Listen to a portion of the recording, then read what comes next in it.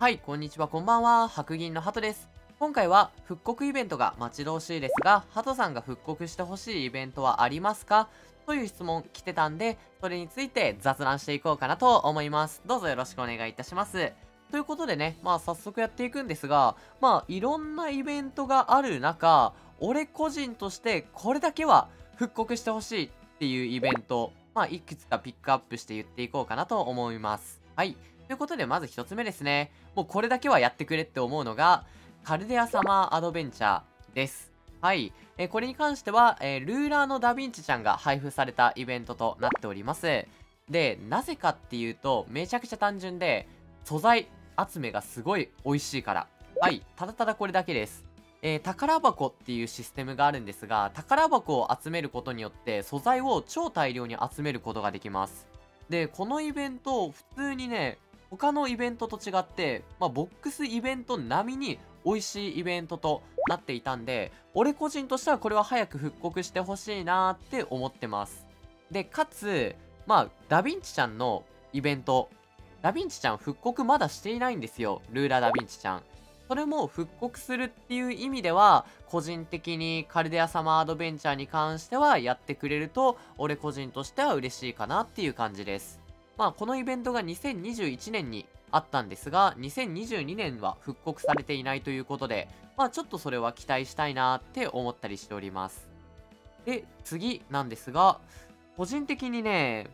グダグダイベントの、えー、寄進計画ですね。これも来てほしいなって思ってます。で、これは、どちらかっていうと、今向けに復刻するべきだろうって感じです。まあ、CBC イベントで高杉さんが実装されたと思うんですが、高杉さんの良さって CBC だけじゃわかんないんすよ。寄進計画を見た上で、うわー、高杉いいなーって思ったりしているんで、まあ、イベント自体、イベントの内容自体は正直美味しいかって言われると、まあ、普通ぐらいだったんですが、まあ、俺個人としてここも来てくれると嬉しいなーっていうのがあったりします。もう一回読み返したいっていうのもね、あったりするので、ここも寄進計画、グラグラ寄進計画に関しても来てくれると嬉しいって感じです。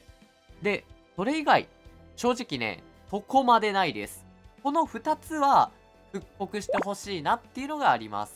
あ、で、もう一つあったわ。えっ、ー、とね、去年の夏イベントなんですが、えー、名前なんだったっけな？アーティックサマーワールドか。はい、アークティックサマーワールドも来てほしい。で、これはめちゃくちゃ単純な理由です。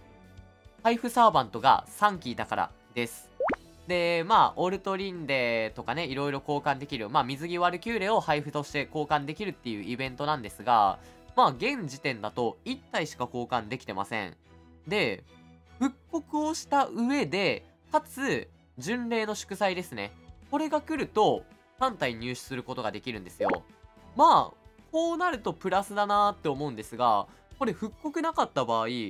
あ、すいません。えー、巡礼の祝祭ですね。で、2体出すの？いや、そんなことないよねっていう話になったりするので、俺個人としては、このアーティアークティックサマーワールドに関しては、1回、まあ、今年中にですね、復刻が来て、その後、巡礼の祝祭で追加されるみたいなパターンで復刻されると、俺個人としては嬉しいなと思ったりしております。ぐらいですね。うん。で、まあ、それ以外だと、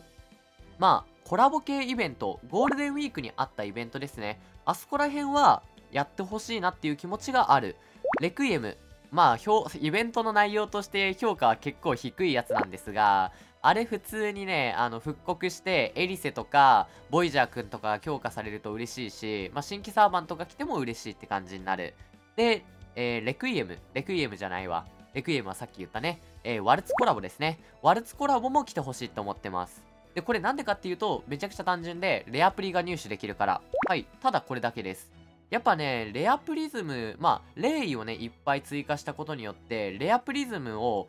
超大量に集めることができるんですよ。レイのこ、えー、レイを持っている場合ですね。そういった意味で美味しいイベントとなっているっていうのと、えー、全体フォーリナーの配布、えっちゃんがいるということで、まあ、これもやっぱ新規向けに1体フォーリナーいるとお得だよっていう感じになるので、まあ、ここもできたら復刻してくれると嬉しいかなっていう感じです。で、まあ、復刻イベントではないんですが、ボックスイベント、これも来てくれると嬉しいです。で、ボックスイベントだった場合、基本10月と12月の2回って感じになってます。ただ、去年に関しては、えー、4月ぐらいに1回と10月に1回、上限付きの12月で1回みたいな感じで3回ありました。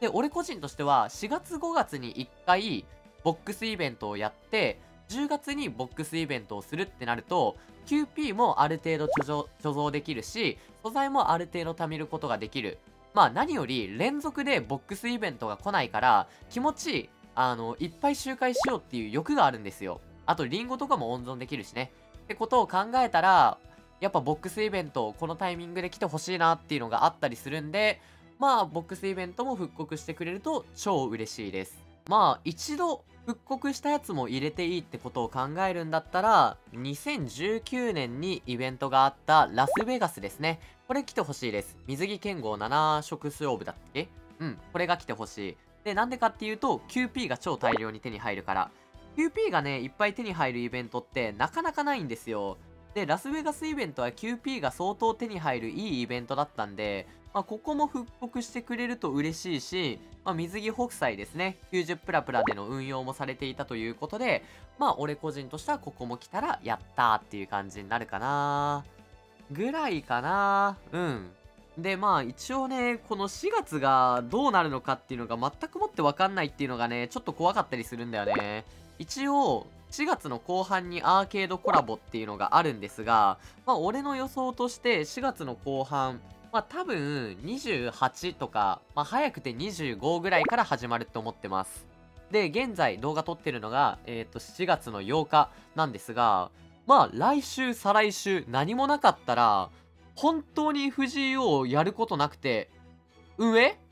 君はバカなのかい？っていうことをね、言わないといけなくなる。まあずっと言ってるんだけど、まあそういう気持ちになったりするので、まあこの2週間、まあ、イベントがね、3週間形式になっているんで、まあ、どうになる、どうな、どうなるかっていうのはちょっとわかんないんですが、俺個人としてこの2週間の間にボックスイベントとか、あ、復刻イベントではないんですが、ハンティングクエストとか、えー、そこら辺が来てくれると、まあ、嬉しいかなっていう気持ちがあったりします。